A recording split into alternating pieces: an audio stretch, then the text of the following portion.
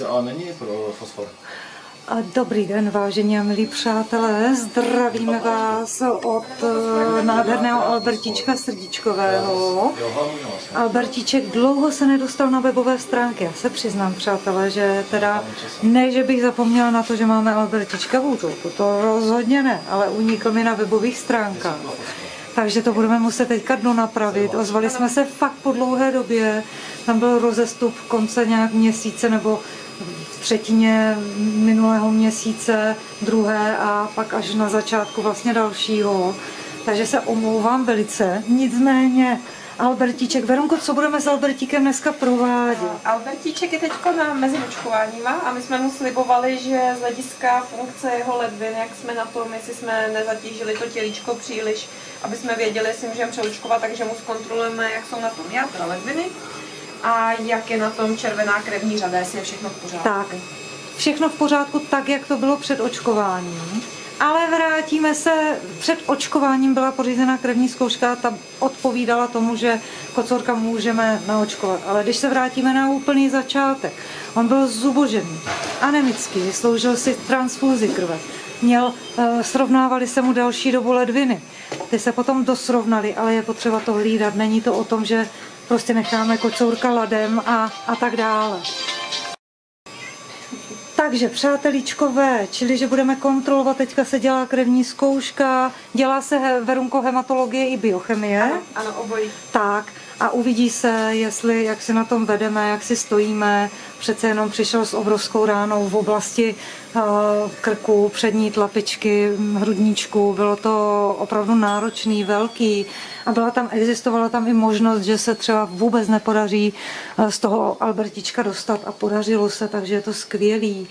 No, máme za sebou chemickou kastraci a tam Verunko hodně lidí se jí ptá, tam to nějakou dobu funguje, vidíš, že ty hormony se zbouří po aplikaci té chemické Dělá kastrace. se takzvaný flare-up efekt, kdy oni vlastně, popisuje se 14 dní, tak uh, jsou jakoby hormonálně nabuzení.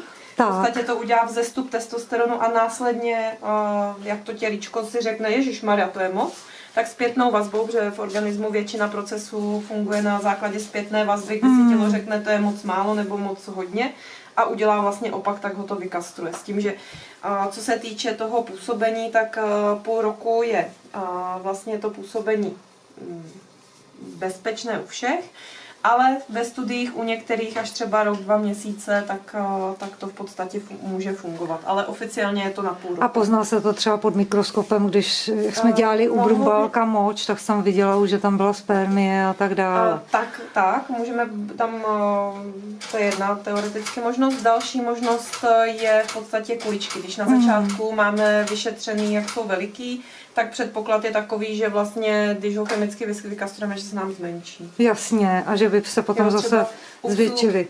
Ano, že, se, že by se pak měli zase teoreticky zvětšit. U psů a tam se to krásně dá pozorovat na prostatě, protože jakmile se prostata začne zvětšovat, tak a, je jasný, že nám to přestává fungovat, Ano, což ano, ano. u kocourku si Tak, jasně, jasně.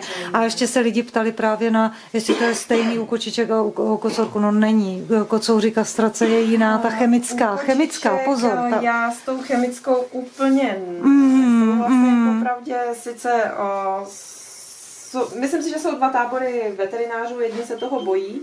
O, ve chvíli, kdy teoreticky ta kočka je doma, víme, že nemohla být nakrytá, tak uh, teoreticky se jí to dá dá, ale ve chvíli, kdybyste vzali venkovní, o který nevíte, jestli je nakrytá nebo není, protože se udělá slno a nevidíte koťata, neznamená, že není v tom mezidobí, kdy to není vidět, tak ve chvíli, kdyby se jí to dalo, tak bude mít piometru.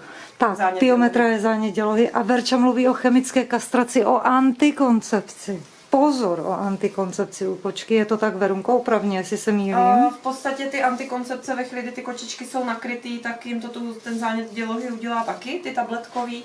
A rádo to ještě dělá nádory na mléčný žláze, vidíme strašné věci s tím, a kež by jim to nikdo nedával. Když radši odchytí, vykastruje. Ale spousta, spousta veterin ti to vůbec nedá, což je dobře. Jo, ten antikoncepční přípravek. Takže tak, dobře, Verunko, děkuju. Mějte se všichni krásně, děkujeme, nashledanou, ozveme se zase.